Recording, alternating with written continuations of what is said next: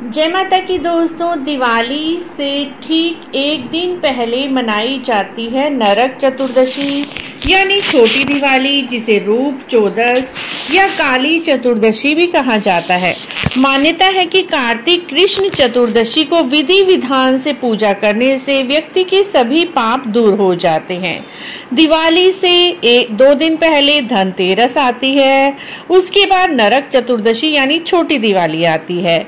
छोटी दिवाली इसीलिए कहते हैं क्योंकि इसके एक दिन बाद बड़ी दिवाली आती है, यानी पूरी दीपावली आती है।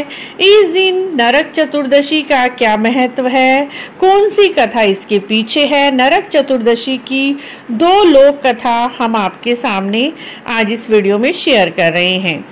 पहली कथा के अनुसार आज के दिन भगवान श्री कृष्ण जी ने अत्याचारी और दुराचारी असुर, नरकासुर का वध किया था और नरकासुर की कैद में जो सोलह हज़ार एक सौ एक कन्याएँ थी, जो राजकुमारियाँ थी, जिनको नरकासुर ने बंदी बना रखा था, नरकासुर को मारकर नरकासुर के बंदी ग्रह से सोलह हज़ार सौ कन्याओं को उन्होंने सम्मान भगवान श्री कृष्ण जी ने कैद मुक्त कराया था और उन्हें अपनी अर्धांगनी बनाया था।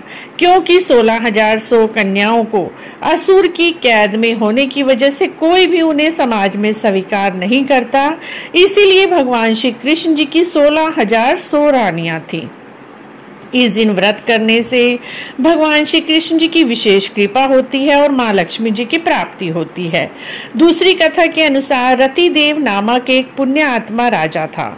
उन्होंने अनजाने में भी कोई पाप नहीं किया था, लेकिन मृत्यु के समय यमदूत उनके सामने आकर खड़े हो गए।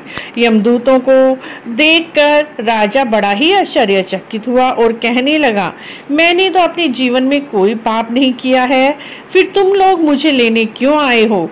इसका क्या मतलब है? क्या मैं, मुझे नर्क जाना पड़ेगा?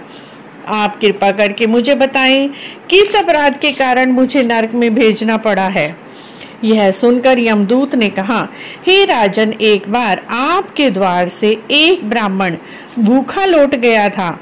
उसी पाप के कारण आपको यह फल मिला है। राजा ने यमदूत से एक वर्ष का समय मांगा। यमदूतों ने राजा को एक वर्ष की मोहलत दे दी। राजा अपनी परेशानी लेकर राज ऋषियों के पास पहुँचे। उन्होंने अपनी सारी कहानी सुनाई और पाप मुक्ति का उपाय पूछा। तब ऋषियों ने उन्हें बताया, कार्तिक मास के कृष्ण पक्ष की चतुर्दशी का तुम व्रत करो, ब्राह्मणों को भोजन कराओ, दान दक्षिणा दो, जिससे तुम्हारे सारे अपराध क्षमा हो जाएँगे। राजा ने वैसे ही किया जैसे ऋषियों ने बताया था। इस प्रकार राजा पाप मुक्त हुआ और उन्हें विष्णु लोक की प्राप्ति हुई। उसी दिन से पाप मुक्ति के लिए और नरक की यातनाओं से मुक्ति के लिए भूलोक में रहने वाले लोग कार्तिक चतुर्दशी का व्रत करते हैं। कथा सुनते हैं। कथा सुनने मात्र से व्यक्तियों को इस लोक और परलोक, दोनों का सुख प्राप्त होता है। आशा है मित्रों, आपको नरक चतुर्दशी की ये दोनों कथाएँ अच्छी लगी होंगी। अच्छी लगी हैं तो आप हमारे चैनल को ज़रूर सब्सक्राइब करें, लाइक करें, वीडियो को शेयर भी करें और कमेंट बॉक्स में जय माँ लक्ष्मी अवश्य लिखें।